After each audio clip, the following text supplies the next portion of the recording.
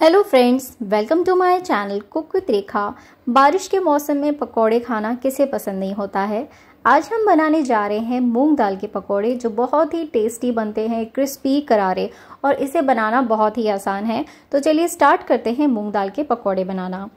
तो यहाँ पर मैंने ली है दो कटोरी छिलके वाली मूंग की दाल, जिसे मैंने रात भर के लिए भिगो कर रख दिया था, और इसके बाद मैंने अच्छे से इसको धुल लिया है।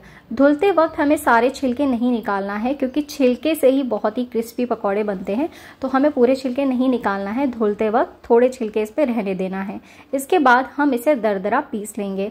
हमें एकदम स्मूथ नहीं पीसना है, थोड़ा दरदरा सा ही पीसना है, क्योंकि जब आप दरदरा सा पीसेंगे तो बहुत ही क्रिस्पीनेस आएगी इन पकौड़े में। तो आप देख सकते हैं कि इस तरीके से आपको दाल को पीसना है बिल्कुल स्मूथ नहीं करना है। तो इसे हम दो बैच में पीस लेंगे। अगर आपके पास टाइम कम है और आप पूरी रात के लिए दाल को नहीं भिगोना चाहते हैं तो आप गर्म पानी में एक घंटे के लिए भी सोख करके रख सकते हैं और उसके बाद आप इसके पकोड़े बना सकते हैं धुलकर पीस कर बाकी का प्रोसेस फॉलो करके। तो यहाँ मैंने दाल को पीस लिया है अच्छे तरीके से। तो दो बैच में मैंने पूरी दाल को पीस लिया है।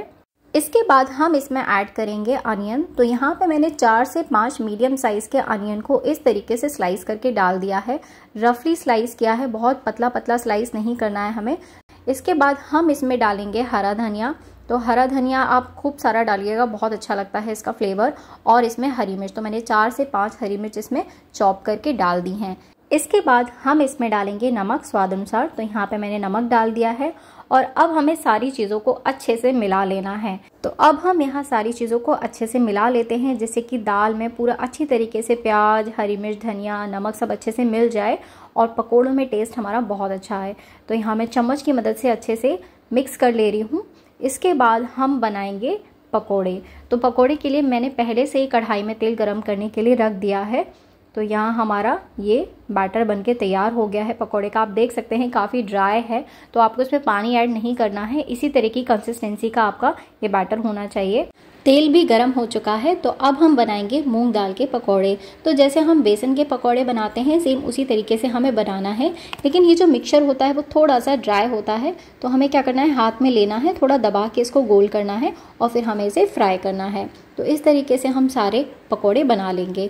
पकोड़े फ्राई करते वक्त आपको इस बात का ध्यान रखना है कि गैस की फ्लेम स्लो टू मीडियम ही होना चाहिए। अगर आप हाई फ्लेम पर पकोड़े फ्राई करेंगे तो देखने में आपको ऐसा लगेगा कि पकोड़े पक गए हैं, लेकिन अंदर से वो थोड़े कच्चे रहेंगे। तो आप हमेशा जब भी पकोड़े फ्राई करें मूंग दाल के तो स्लो टू मीडियम गैस पर ही आपको इसे फ्राई करना है। आपको इसे दोनों साइड से अच्छे से पलट पलट कर गोल्डन ब्राउन होने तक पकाना है। तो यहाँ पे मैंने पूरे कढ़ाई में अच्छे से पकौड़े डाल दिए हैं। तो अब हम मूंग दाल के पकौड़ों को पलटेंगे। तो आप देख सकते हैं कि जो पकौड़े मैंने पहले डाले थे सेंटर में, उसका कलर चेंज हो चुका है। वो एक साइड से अच्छी तरीके से पक चुके हैं। तो अब हम उन्हें पलट देंगे। तो यहाँ मैं नाइफ़ की हेल्प से एक एक करके पकौड़ों को पलट रही हूँ। इन पकोड़ों को मंगोड़े भी कहते हैं, जो हमारे घर में संक्रांत के टाइम पे स्पेशली बनते हैं। तो मेरी मम्मी अक्सर जब भी मंगोड़े बनाया करती थी तो वो इसी तरीके से चाकू की मदद से ही पलटती थी। क्योंकि चाकू की मदद से एक एक पकोड़े को पलटना काफ़ी आसान हो जाता है, लेकिन अगर हम बड़े चम्मच से पलटते हैं तो एक साथ सारे ही पलट जाते हैं तो थोड़ा सा वो डिफ़िकल्ट होता है। तो आप चाहें तो आप भी मेरी मम्मी वाली ट्रिक को आजमा सकते हैं। तो यहाँ पे हमारे जो पकौड़े हैं, उसने कलर चेंज करना स्टार्ट कर दिया है। कुछ पकोड़े एक साइड से पक चुके हैं, अभी दोनों साइड से पकना बाकी है। तो जब इनका कलर अच्छे से दोनों साइड से बिल्कुल बराबर हो जाएगा गोल्डन ब्राउन तब हम इसे निकाल लेंगे। तो अब आप देख सकते हैं कि कलर चेंज हो गया है दोनों साइड से। अच्छे से गोल्डन ब्राउन हो गया है और दोनों साइड से अच्छी तरीके से पक चुके हैं। तो इस स्टेज में हम सारे पकौड़ों को निकाल लेंगे। मूंग दाल के पकौड़े कहें या फिर मंगोड़े कहें, दोनों ही सेम बात है। तो ये अच्छे से पक चुके हैं तो हम इसे निकाल लेंगे। तो यहाँ मैं इन्हें निकाल ले रही हूँ। आप देख सकते हैं कितना अच्छा कलर आया है। और क्योंकि हमने दाल को थोड़ा दरदरा पीसा था तो ये बहुत ही क्रिस्पी बनते हैं। आप इन पकौड़ों को चटनी के साथ खा सकते हैं, टोमेटो सॉस के साथ खा सकते हैं। और सबसे बेस्ट है, बारिश के मौसम में आप गर्मा गर्म अदरक वाली चाय के साथ इन पकौड़ों को इंजॉय कर सकते हैं। तो इसी तरीके से हम बाकी के पकौड़ों को भी फ्राई कर लेंगे। और यहाँ हमारे मूंग दाल के पकौड़े बनकर तैयार हो गए हैं।